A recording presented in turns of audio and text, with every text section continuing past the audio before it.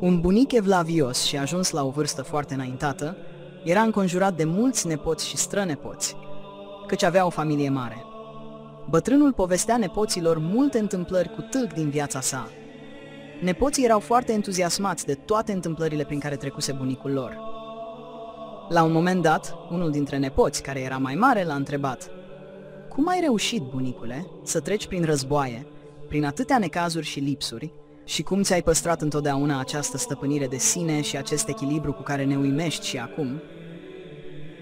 Ei bine, dragii mei, răspunse el. Să știți că eu întotdeauna am fost atent cu ochii mei, că tot răul din lume pătrunde în inima omului prin simțuri și mai ales prin văz. Când eram și eu mic ca voi, preotul din sat m-a învățat să fac trei lucruri în fiecare zi, când plec de acasă. Întâi, îmi ridic privirea spre cer ca să-mi aduc aminte că acolo sus este tatăl meu, care mă veghează. El este cel mai important în viața mea și spre el mi se îndreaptă toată silința și putința. Al doilea, îmi plec ochii la pământ și privesc la cât de puțin loc am nevoie pentru a-mi găsi și eu acolo mormântul.